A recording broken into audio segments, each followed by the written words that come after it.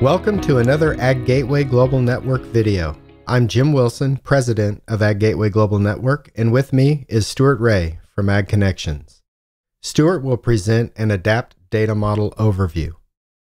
Stuart, please tell us what you do for Ag Connections and Ag Gateway, and then move into your presentation. Thank you, Jim. Good morning. As Jim said, my name is Stuart Ray. I'm a software developer for Ag Connections in Murray, Kentucky. Ag Connections is a FMIS farm management information system provider. We're grower oriented, so we uh, make software essentially for the grower to use in record keeping and managing his data. I also happen to be the data model lead in the ADAPT project, and it's my honor to talk with you today about the data model for ADAPT and how it came to be. So let's get started. My goal today is really to tell you a story about how we got to where we are and maybe why we made some of the decisions that we did in constructing the data model and designing the data model. And with that, let's get into the slides.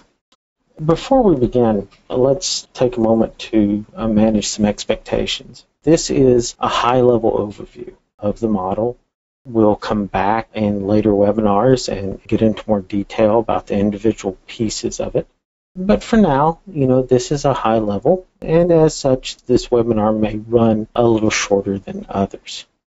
Uh, secondly, this is very much work in progress. The model and the ADAPT project is still under development, and it's going to continue to change simply because it's the nature of the business agriculture is evolving and there's uh, more data being collected every day. So it makes sense that this model will continue to evolve and will continue to make progress. It's also the result of work from kind of a core group of individuals within the Precision Ag Council of Ag Gateway.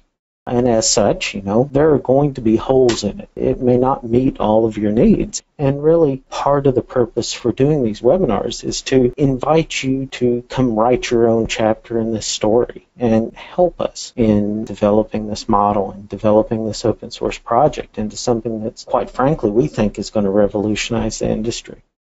So that being said, the general topics we're going to cover today is, you know, what is ADAPT and how do we expect it to be used?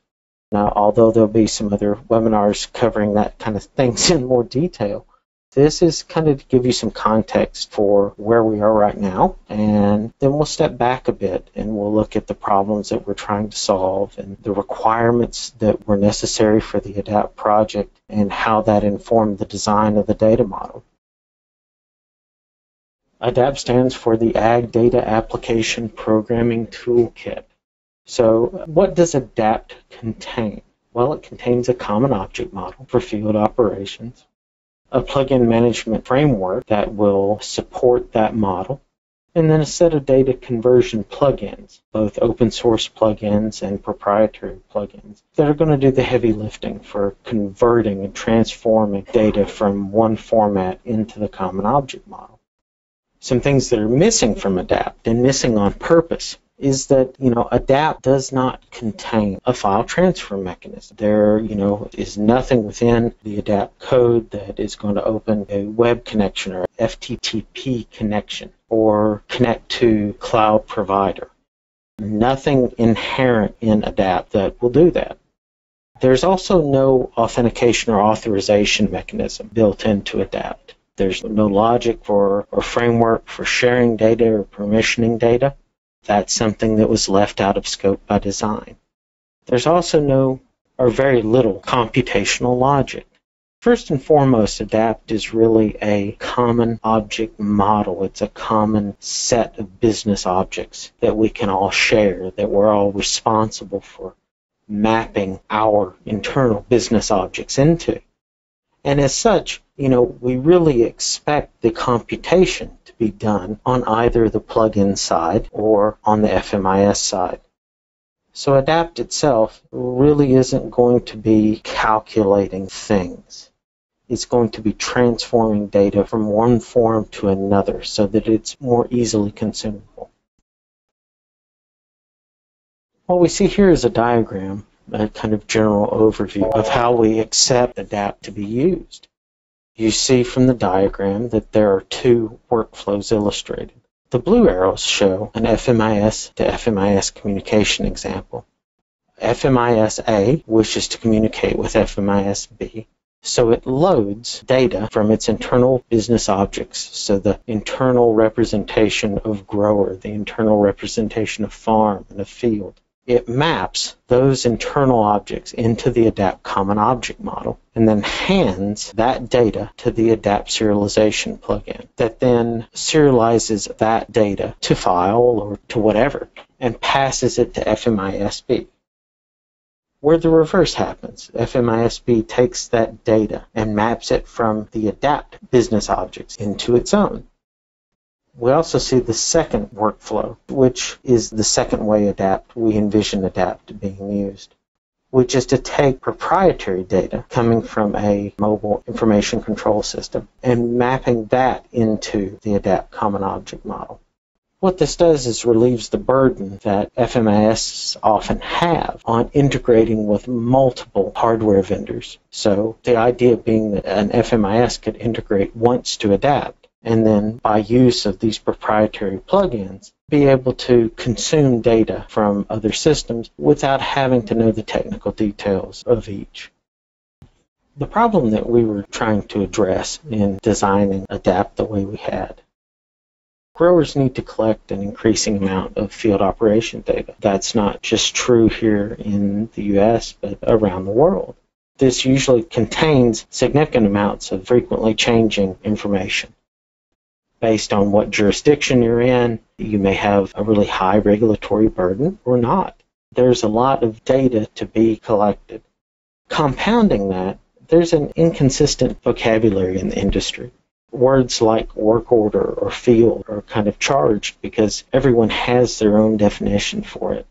So some of the initial problems that we faced really had to do with it kind of getting on the same page and talking in the same terms for one stakeholder, a work order might mean go do this series of different things on this series of fields, uh, where you're doing something different on each field. Whereas to another stakeholder, a work order might mean doing the same thing on one or only one or multiple fields.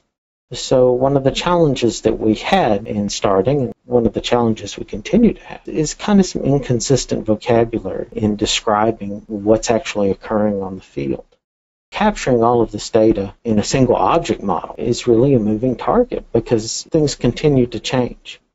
And what we looked for was a way to decouple the infrequently changing things, things that we would expect to be very stable like every farm, every field which should probably have a name. They should probably have an identifier, a fixed identifier of some kind. They should probably have, you know, some hierarchy behind it where uh, it's organized as a grower or a client or whatever term you choose to use has farms under it and those farms have fields under them there was some commonality that we looked for. But we also accept the fact that you know there were some things that would be different, not just from in between software packages or OEMs, but also in different areas of the world. So, in terms of requirements that were placed on the data model, we had some conflicting things going on. We needed a model that was simple enough, generic enough that everybody would want to use it, but it was complete enough to be able to address the business processes that are behind production agriculture today. It was also specific enough to meet the regulatory needs of people. In the US, you can't really use a restricted crop protection product without knowing its EPA number, you know, without being able to record that information. But that kind of information was useless in Europe. So why would we clutter the model by having these things that were very regionally specific? We needed a way to break these things apart and keep the model as light and generic and simple as possible, but still have the ability to attach the data that was necessary to support these business processes. We also had the requirement that developers in general, and I feel confident saying this because I am one, like a stable platform. They don't want the model shifting out from under us in kind of radical ways. But at the same time, you know, recognize that the industry continues to evolve and there's more data being collected and there's the need to be flexible and to be dynamic and to be able to capture the reality of things. So again, a conflicting requirement of stability versus the dynamically changing landscape. We also wanted to use a controlled vocabulary so that everyone would know what the other person was talking about. And this has turned out to be a really big deal and uh, the cornerstone of our development because without a common vocabulary, transferring data from one system to another just doesn't work. At the same time, that vocabulary needs to be extensible. We need to be able to not change the definition of things, but add definitions in, in a really easy fashion.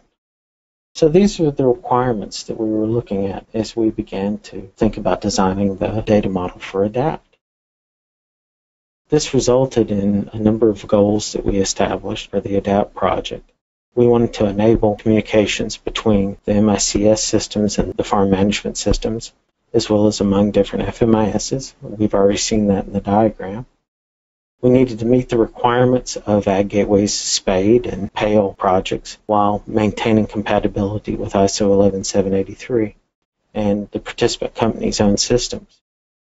The SPADE series of projects were originated from the Precision Ag Council that was founded in Ag Gateway around 2010. The SPADE projects compiled a number of use cases and requirements revolving around the planting and crop care and harvest field operations.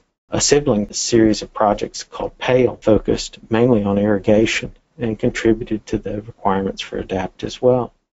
Ag Gateway, by its nature, doesn't look to create standards where standards already exist. So when we first started looking at doing something in the field operations space, it was natural for us to look at ISO 11783, which was the existing standard for equipment communication in the ag industry. Our early attempts of analyzing 11783 showed that there were some gaps for our uses, things like recommendations and crop plans which figure into ADAPT, and we'll see a little bit later in this presentation, didn't really have relevance in machine to machine communication, which was the focus of 11783. So rather than trying to hammer a square peg in a round hole, we decided instead to create, adapt, and go our own way while maintaining compatibility with 11783 because it is de facto industry standard for communicating with the hardware. And that was something that we were interested in preserving and interested in doing. Also part of ADAPT's design was the desire to be geopolitical context independent which is kind of a fancy way of saying we're really looking at international use on as broad a scale as possible. Much of ADAPT's power lies in its common object model. This is where the bulk of our work really resides. The initial cut of the module was overly large and it was heavily skewed towards North America. When we first got together, everyone brought their own internal object model really we threw everything in the kitchen sink into the initial cut.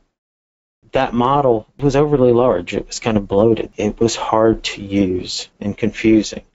Not only because everyone had their own terms for the same piece of data, but also because, again, it was heavily skewed towards North America. And we realized that if we really wanted some international traction, it needed to lose that regionally specific stuff.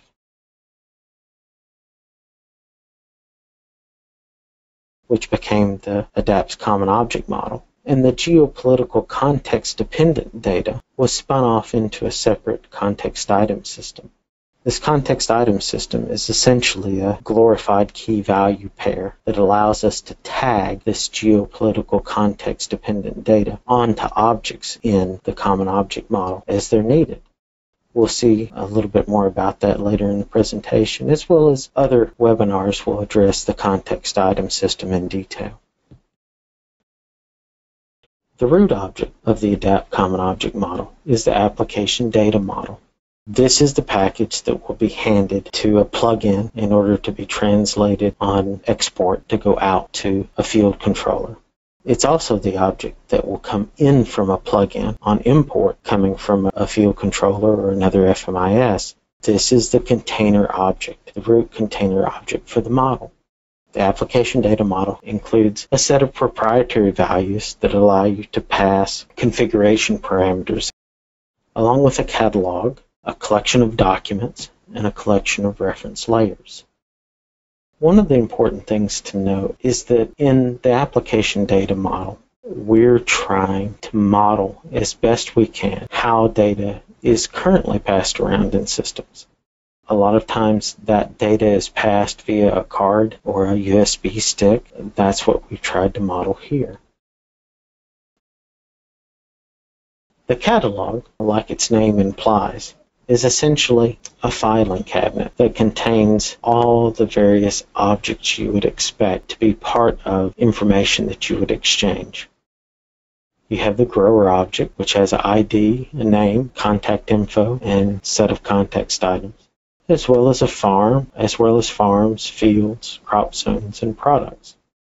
The catalog object, as I said, is like a filing cabinet it is what holds all these objects that you would expect maybe to see in a pick list or a drop down list on a field controller. Were you to be exporting data to a field controller, this is where that data would go. If you were importing data from a field controller, this is where the information for the fields that were used in the data that was collected, the, the products that were used in the data that's collected would reside.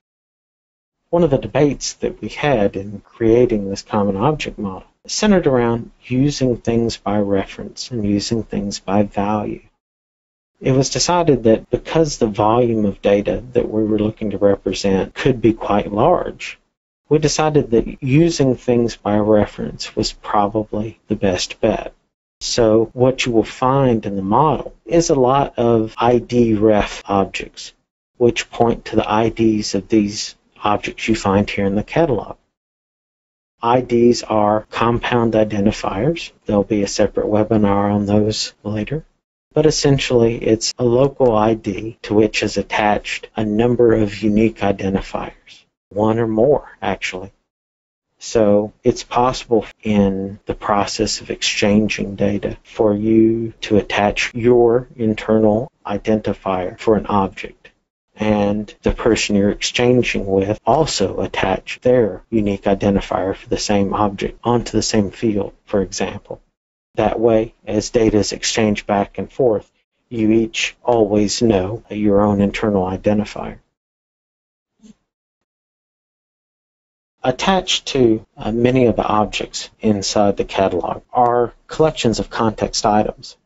A context item is, as you see here, a code which would be the key, and the value units of measures and so forth, which would represent the value. A code identifies what a given context item contains. Think of it as a number that identifies what the value means. Is it a FSA tract ID? Is it an EPA number? A California permit ID? This code is contained, it points to a context item definition which is provided by a reference data service called the Context Item System.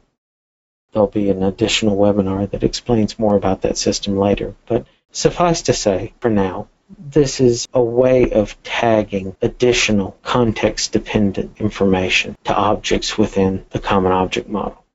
So if our FMIS contains a tax ID for a grower, we're able to attach that tax ID via a context item to the grower object within Adapt. That may mean nothing for our friends in Australia or our friends in Europe, but for North America, it's relevant. This gives us an amazing amount of flexibility in being able to express information that's relevant for local areas and executing your business processes while not cluttering the common object model as a whole with those particular pieces of information. As I said, the context items are provided, their definitions are provided by a reference data service.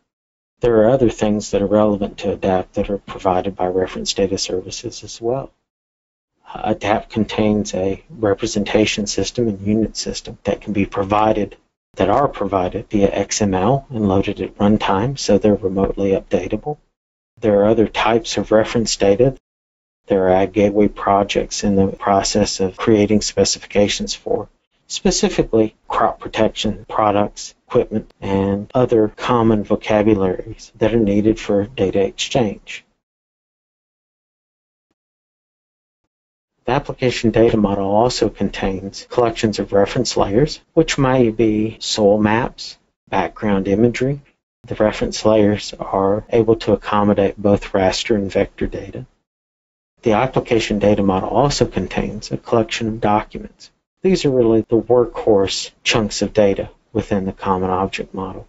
This is where you represent plans, recommendations, work orders, and work records which are essential in the exchange between FMIS systems or between a grower and their third party service provider. The core documents, uh, which were identified in the SPADE series of projects, are plans, which denote this is how we're going to grow a crop this season, observations and measurements, which describe what's happening in the field, recommendations, which describe what we recommend we do about the observations and measurements that have been made. Work orders, which state what we're going to do, and work records, which state what we actually did. The document is a base class from which plans, recommendations, and work orders and work records are derived. We have the ability to establish relationships between these different documents. So a plan could result in a recommendation, which then resulted in a work order, which then later resulted in a work record. All of these objects aren't necessary. Uh, it's simply the framework in which we see most often production agriculture data existing. These were the buckets that we were able to identify that data often falls into. I hope that this overview has been useful to you. As I said, there will be additional webinars occur that go into much more depth about the different parts of this. I hope this has been informative. Back to you, Jim. Thank you, Stuart. Well done. And thanks to all of you who are interested in learning about Ag Gateway, its activities, and its resources. Be sure to check out other videos in the Ag Gateway Global Network video series. Take care and goodbye.